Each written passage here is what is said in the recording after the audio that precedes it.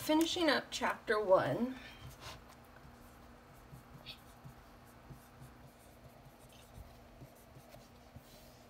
Right? Last class we were talking about elements, we were talking about molecules, we were talking about atoms, and we were talking about compounds, right? So let's start with atoms, right? What are atoms? Smallest element. The smallest unit of matter that has the properties of that type of matter. Everybody comfortable with that? Cool. Um, what is a molecule? Combination of two or more atoms. That's right, a combination of two or more atoms, right? Uh, do those atoms have to be the same flavor? No. No, right? They can be the same. Is everybody comfortable with what I mean by flavor?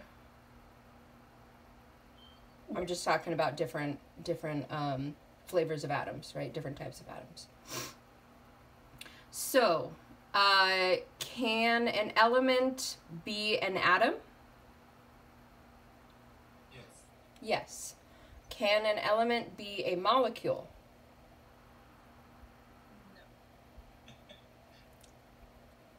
Yes. Yes, it can, right? So an element can be an atom. An element can also be a molecule. When an atom, I'm sorry, when an element is a molecule, right? That means that it has two or more of the same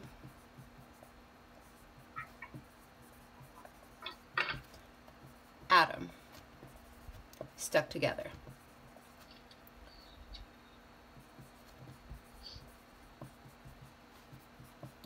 The most common example of this would be what are called diatomic ele- excuse me, diatomic elements. God, my handwriting's getting worse by the second. So di, what does di mean? Two. Two, right? Yes. And atomic meaning atoms, right? So an example of a diatomic element would be oxygen, which always exists as oxygen, the atomic symbol here, and two of them connected together, okay? We'll get more into detail about that as we get into chapter two. Um, cool. So we have elements that can be atoms or molecules, right? Then we have compounds. What is a compound?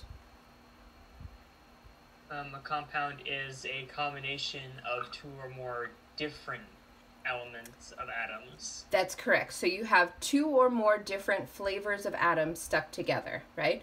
So can a molecule be a compound? Yeah. Yes. Are all compounds molecules? No. No. Yeah, I think so. Wait. Mm-mm. Right? So molecules can have only the same flavor or they can be a mixture, right? So they go both ways. Compounds have to have a mixture. Does that make sense? Mhm. Cool. Oh, okay. Yeah. So we have compounds and we have molecules. I'm gonna get you asked if all compounds were molecules, not if all molecules were compounds. uh the so just because something can go one direction doesn't mean that it's bidirectional. Well, yes, I just I thought I I I I, I, I guess I thought I heard you say that all well, ask if all compounds are molecules, which whatever. Yes, all compounds are molecules. Yeah, I agree. Yeah. So we have molecules uh, underneath the, the category of molecules. We have elements, right? And we have compounds, right? And under compounds, we just have compounds. Does that make sense?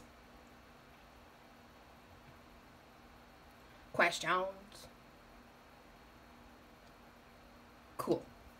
So, whether we're talking about compounds, molecules, elements, or atoms,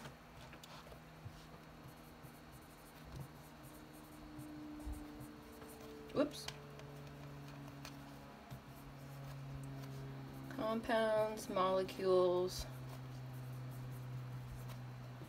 elements. These are all different forms of pure substances.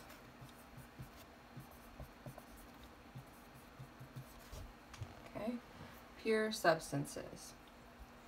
I apologize if sometimes my words get disconnected looking um, because I'm I'm writing and looking at the screen, so it's kind of difficult for me to keep my handwriting nice, but but I'll do my best.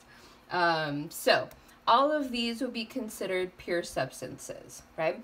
So we talked about some examples, right? We have oxygen, right, as O2 would be an example of a pure substance.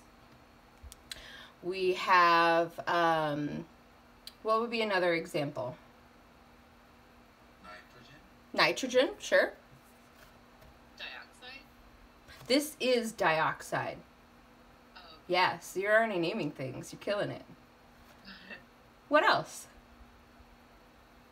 How about gold? That would be a pure substance, right? Unless it's mixed with something else. How about uh, this guy? What's this guy called? That is carbon dioxide. That's right, carbon dioxide, right? So, carbon dioxide, molecule, question mark? Uh huh. Can we get an example of something that's like not a pure substance? Yeah, we're like- gonna we're gonna get there. Yeah. But molecule, Would that also be a compound? it is also a compound, exactly, right? Is it an element? No. Right? Is everybody comfortable with that? Yes. So these guys are all elements. This guy is a compound. I'm going to get lazy and start abbreviating things here, guys. So, a pure substance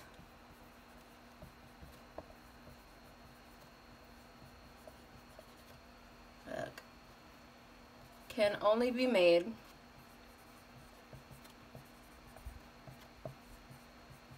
of one type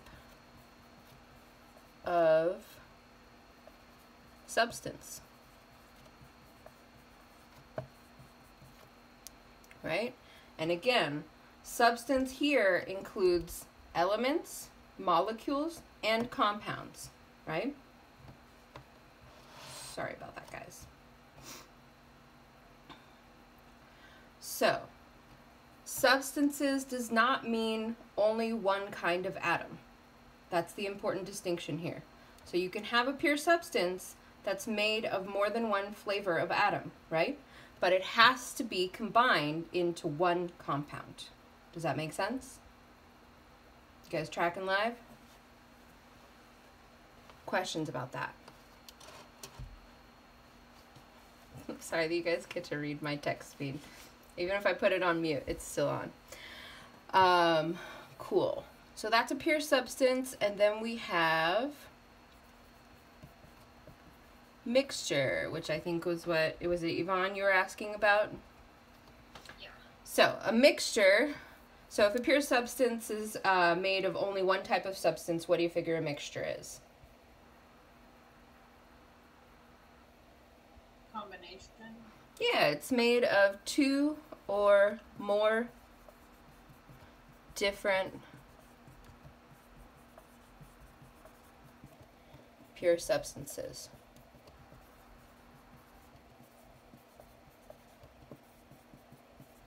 Right? So, what are some of your favorite mixtures?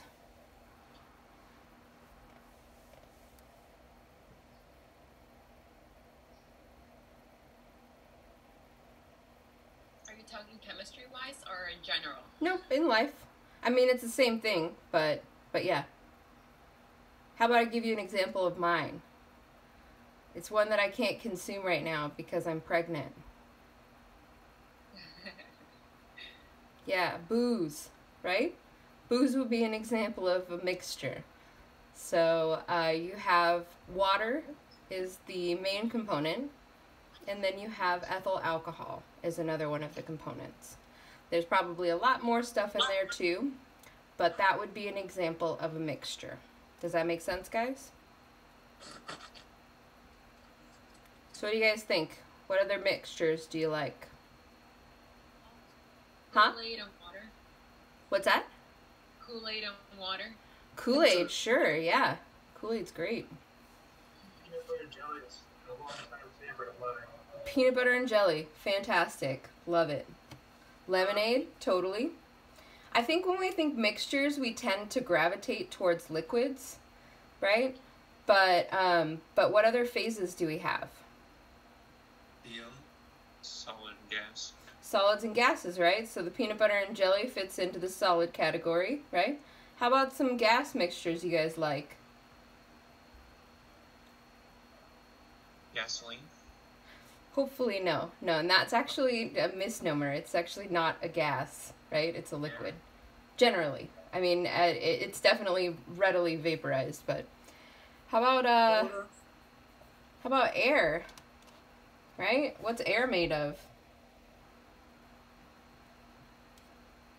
Oxygen. Nitrogen, Nitrogen. nitrogen. Yeah, so we've got oxygen and we've got nitrogen. Those are the two main components.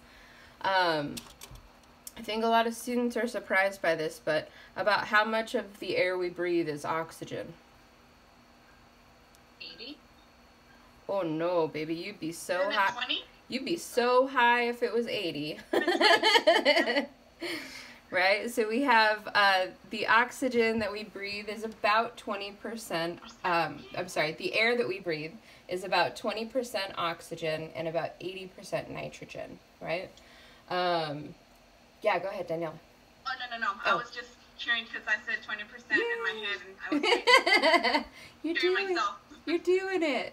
Um, so so yeah, but this is a common misconception. If uh, uh, if air was made up completely of oxygen, first of all, we'd be high all the time, extremely high, right? So have you guys ever had to be on oxygen for any reason, like medically? That's great. Couple people, yeah, I have. So, uh, what happens when you're on when you're hooked up to the oxygen machine? It, it helps you breathe better. Yeah, but what does it feel like?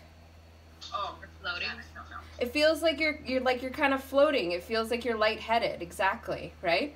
Yeah. So so this is um, not something that we experience on a daily basis, right? So thankfully, um, if the if the atmosphere was made completely of oxygen, um, we would be probably different life forms, right? What's the other important reason why having the air be completely composed of oxygen would be very bad? Oxygen burns, doesn't it? Yes, oxygen is the main component in combustion, right? So, if you don't want the entire planet to catch on fire, having a limited supply of oxygen is probably good for your atmosphere. Does that make sense, guys? Cool. Nitrogen is inert, so it's a gas that doesn't really do much, so it's not harming us. It's just kind of hanging out, right? Um, so this is totally tangential, but I think it's an important point to relate into um, our current COVID uh, times that we live in. So I don't know if you guys have uh, had a friend or colleague or someone say that uh, the masks make it um, too difficult to breathe, right? Um, or that you're somehow inhaling your own toxins. You guys heard Yeah. this line? Yeah. Yeah, so um, what do they mean by toxins? The carbon dioxide that we expel when we exhale. Yeah, yeah, ugh, those people, Miguel. So that I, I think generally uh, we can we can be safe in saying that they're probably talking about carbon dioxide that we exhale, right? So um, when we breathe in, we breathe in twenty percent oxygen, approximately, right, and about eighty percent nitrogen. So when we breathe out, are we breathing out eighty percent nitrogen and twenty percent carbon dioxide? No way, right? So respiration is not perfect. We don't convert all of the oxygen into carbon dioxide. On average, when we breathe out, we're exhaling we're exhaling about 4% carbon dioxide. Right? So this idea that we could somehow poison ourselves by having a mask on is pretty crazy and also because the relative size of oxygen and carbon dioxide are pretty similar, right? So molecularly speaking, these guys are almost the exact same size, right? Um, so if oxygen can get in, then that means carbon dioxide can get out, right? So you can go ahead and explain this to your crazy aunt or uncle. Um, I actually had to do that with a customer at Sprouts yesterday. Yeah. And get them kicked out of the building. Yeah, they, they, they don't want to know about it because they don't have, you know, any logical reasons to feel that way. But yeah, it's it's common for people to have anxiety when their mouth is covered, right? That's totally a normal thing. But anxiety is not the same thing as um, actually experiencing toxicity. Um, so so yeah. Anyways, fun fun facts for COVID, for fighting uh, misinformation on the internet.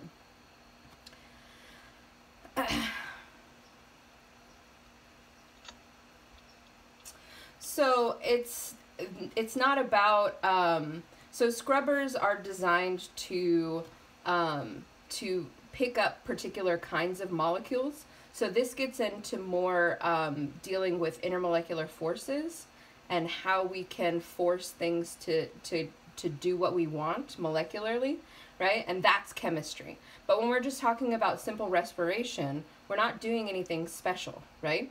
All we're doing is inhaling and exhaling, right? So, is there a chance that there's some minor um, uh, accumulation of carbon dioxide? Maybe, right? But if that was the case, then after an hour or two of wearing a mask, then people would start to hyperventilate, right? And I, you know, while some people may hyperventilate literally as soon as they put them on because they're again experiencing anxiety, um, that's not that's not typified, right? So you have a surgeon can perform surgery with a mask on for eight hours. People in the hospital are wearing them for twelve hours, right? So we know conclusively that, that that's that's not harmful, right? If there was, we would see long term effects from the people who wear them on a daily basis. So, but interesting arguments, right? This is understanding chemistry, it's the world, it's life. Cool. Okay, so we have pure substances versus mixtures. I'm going to erase. So now we have two basic flavors of mixtures. Mixtures. Whoops. So, our two flavors of mixtures we have are heterogeneous. Hi, what are you coming in for today? Optometry. All right, any cough, fever, shortness of breath? Oh, somebody's at the hospital. We're gonna mute you. There you go. All set. Participants, mute. All. I'm sure she doesn't want to hear, or he doesn't want to see hear about his doctor's visit. Um, okay, sorry. Come here. There we go. Cool. So we have a heterogeneous mixture is one type, and we have a homogeneous.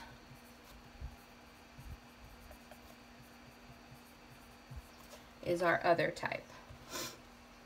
Right? So hetero, our root word here, means different.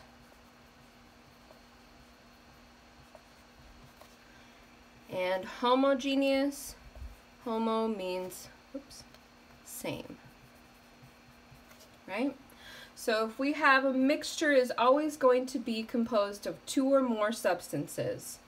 A heterogeneous mixture will have non-uniform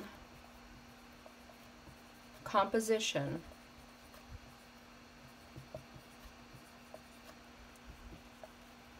throughout.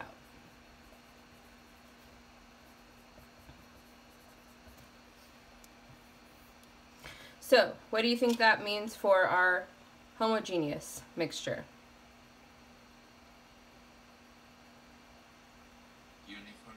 Uniform, right? So it will have uniform composition composition throughout. Mm-hmm.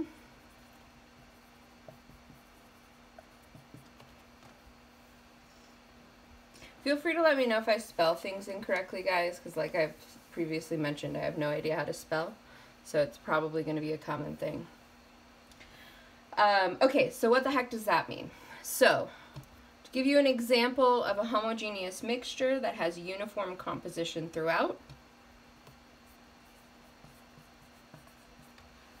vodka, right? Vodka is a mixture. It has water. It has ethyl alcohol, right? Uh, but can you tell the difference between where the alcohol and the water are? No. No, and that's because it has uniform composition throughout. Does that make sense? Coolsies?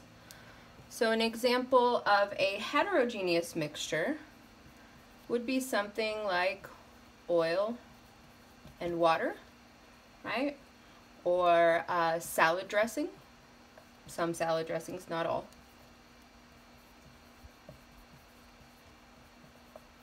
Right? So you have a bottle of salad dressing, you, assuming you guys eat salads occasionally.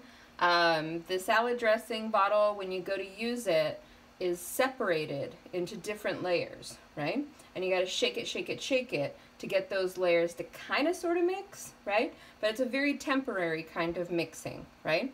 That's a heterogeneous mixture. You have non-uniform composition, meaning that there's clear separation of the components, right? Um, Yes. wait, so, um, since mixtures can also be solid, wouldn't basically every mixture of multiple solid objects be um, heterogeneous? Is so so uh, in the main, I would say yes. However, one of the main solid solutions that's homogeneous would be an alloy.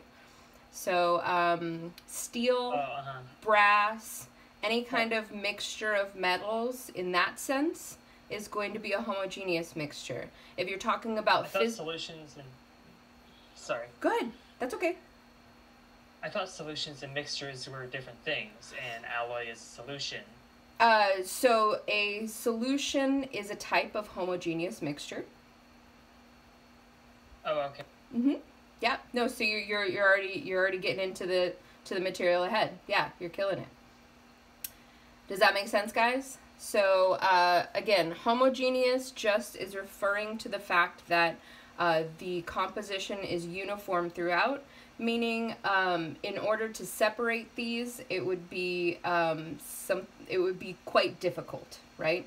These guys are combined um, uh, very thoroughly, as it were, right? But if we had something like sand and well, that's kind of a misnomer. Let's say sand and metal, right? Sand and some metal. Um, unless they were fused together homogeneously, right? Then this would be an example of a heterogeneous mixture. PB and J, homogeneous, heterogeneous. Um, heterogeneous. Heterogeneous. Air, homogeneous, heterogeneous. Homogeneous? Homogeneous, right? So you can't tell the difference between where the oxygen is and the nitrogen, right? Thankfully, otherwise we would be in grave danger. Does that make sense, guys? Yes. Questions about that? So, things that you're going to want to know for the exam, right? You're going to want to know that a pure substance is anything that's made of one type of substance. A substance can be a compound, an element, or a molecule, right? But it can only be one of those things. A mixture is two or more pure substances. If those two substances mix together uniformly throughout, we say the mixture is homogeneous. It's a homogeneous mixture. If the two pure substances that are mixed together or more are um, non uniform throughout, then we say the mixture is heterogeneous. Everyone cool with me on that? Questions?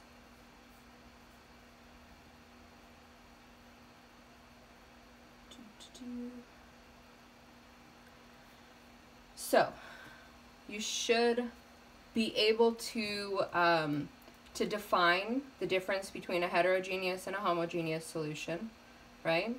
And ideally, given some type of example like this, oil and water, vodka, right, something like this, you should be able to tell me whether that mixture would be homogeneous or heterogeneous. Okay?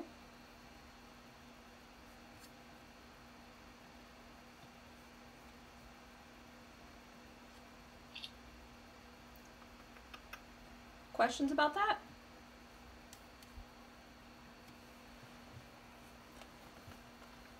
Okay if I erase? Cool.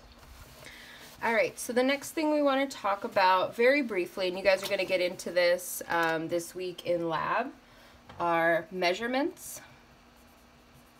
Mm, I can try again. Measurements. Right? So one of the big, oh, I'm sorry, you guys. Come on. You can do it. You can do it, camera.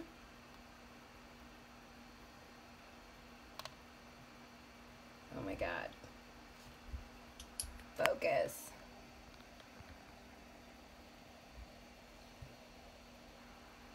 This is so annoying.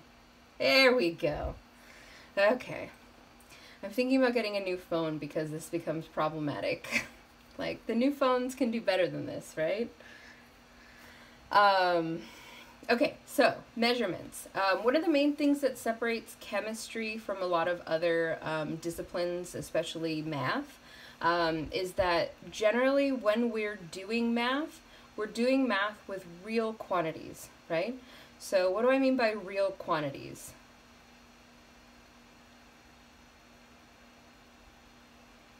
So, in math, we do a lot of things with numbers, right? Are numbers real?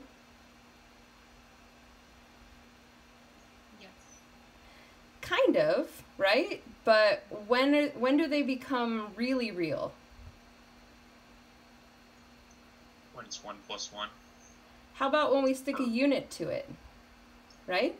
So when we talk about things like 1 plus 1, we're talking about math in the abstract, right? But when we're talking about chemistry, we're always talking about amounts of things, right? So we're talking about length, we're talking about temperature, we're talking about all of these things that have units, right? And that makes these things quantifiable, right? You guys comfortable with what I mean by quantifiable?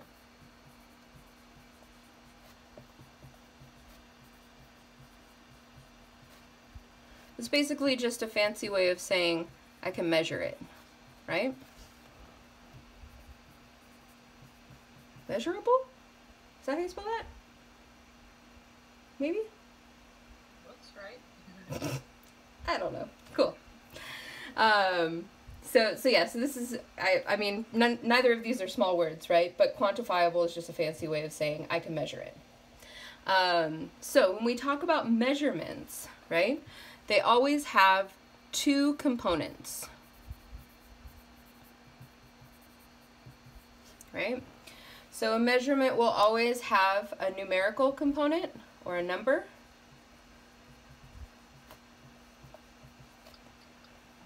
Right?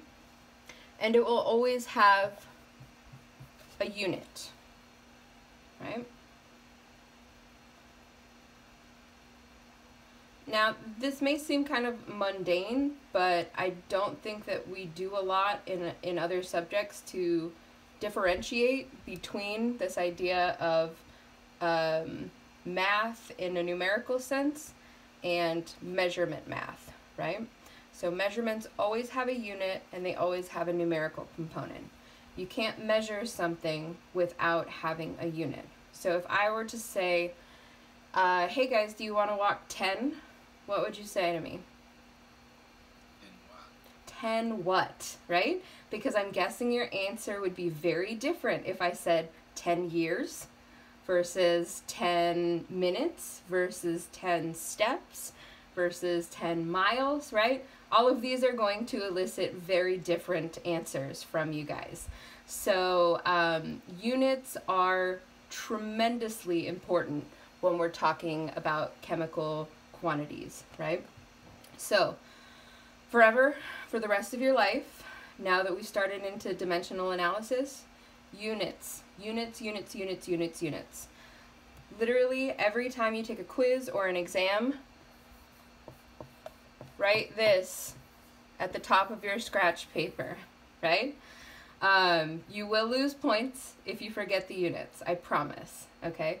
Um, and that's not because I'm being a jerk, it's because now more than ever, those units are imperative, right? They matter. Um, if you don't have the unit, then you do not have the full answer, okay? So, units, units, units.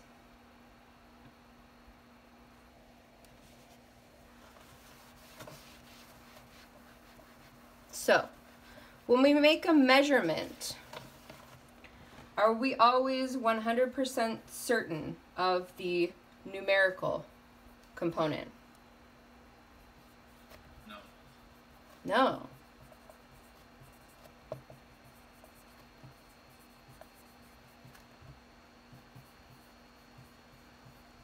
Absolutely not, right?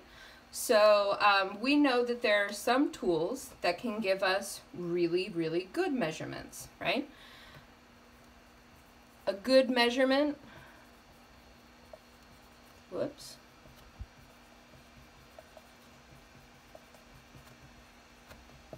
is called a precise measurement, right? So when we talk about measurement, uh, the better the measurement, the more precise the measurement, right? Now, what determines that precision? The number of decimal places. Technically, yes, but I'm thinking more um, like physically. What determines that? Your measuring device? Your measuring device, exactly, right? So, different measuring devices, different tools will have different precisions. So, the amount or the degree of precision in your measurement is only as good as the instrument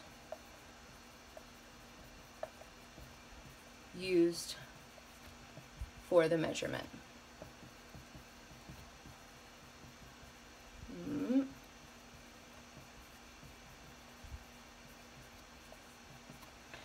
Right?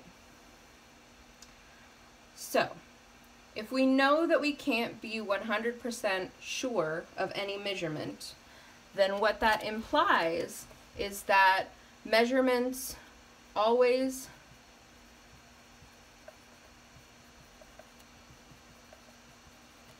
always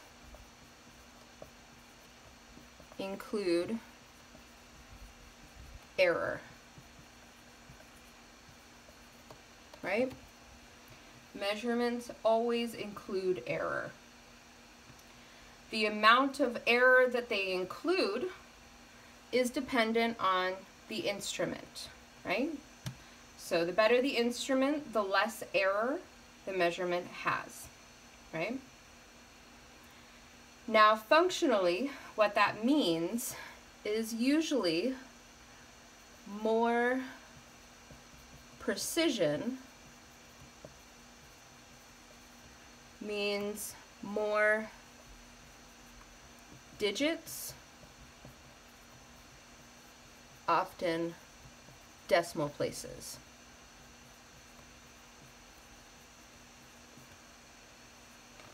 Right?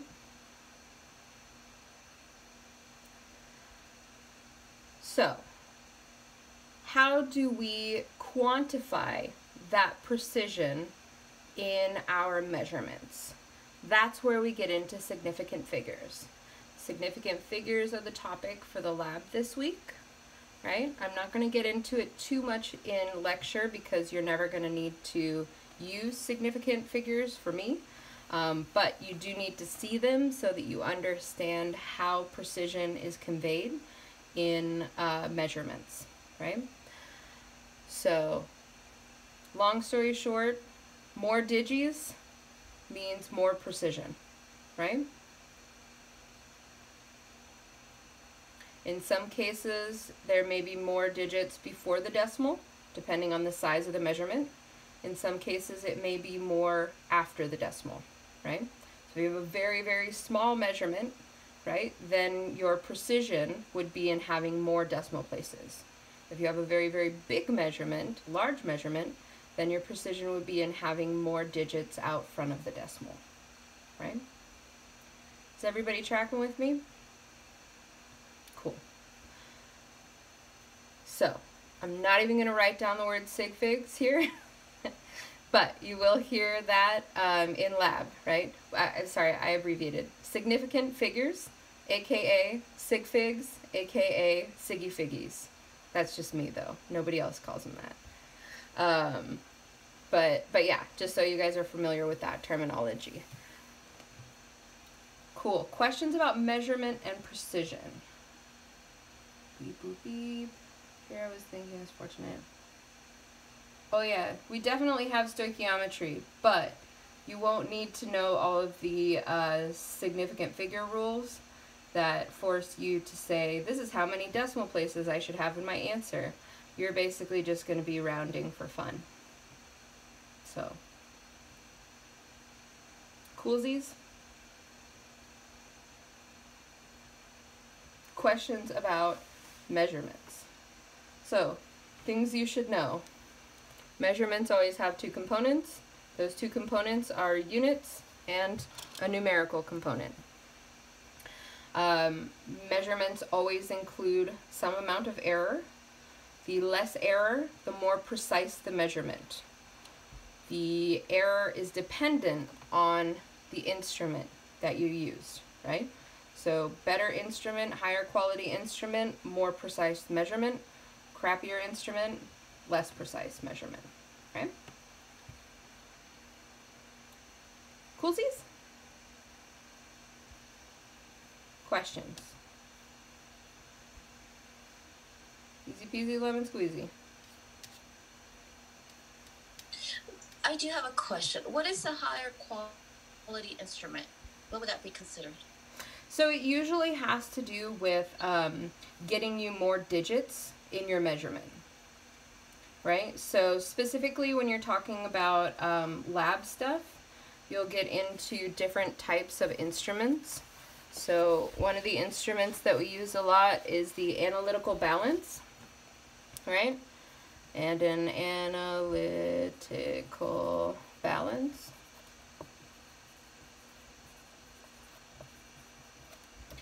has precision to 0.0001 grams, which is the same as saying that you can get four decimal places, right?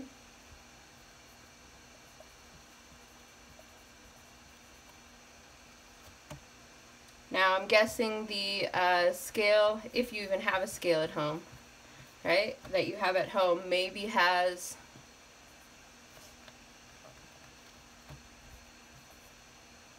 sorry, LBs. Right? Something like this, 0.1 pound. If you have if you have a kitchen scale, it probably goes to plus or minus one gram. You might be able to get a half a gram out of that bad mamma jamma, depending on if you have a fancy one. Right? So basically, what makes a good instrument or a bad instrument? Dollar, dollar bills, y'all. Right?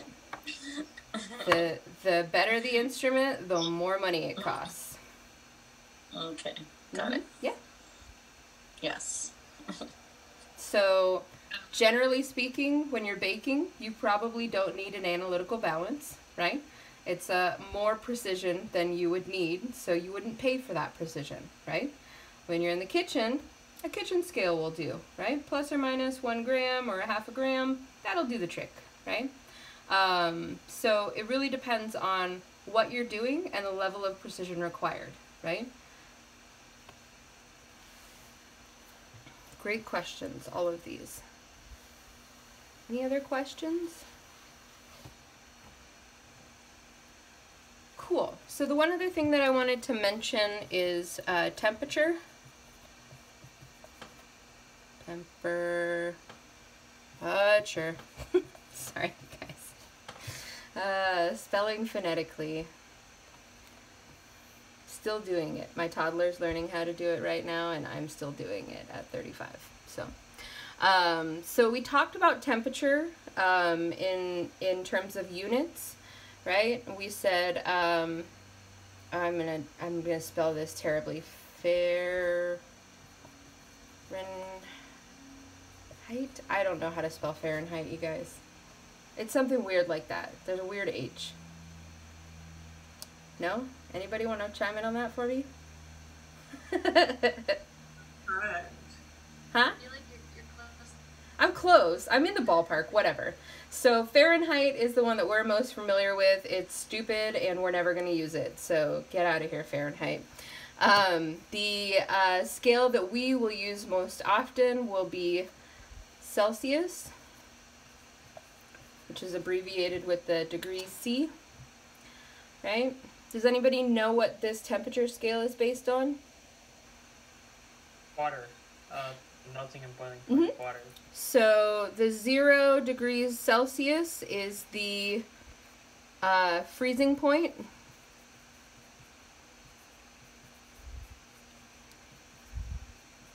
Of water, right? And 100 degrees Celsius is the boiling point of water.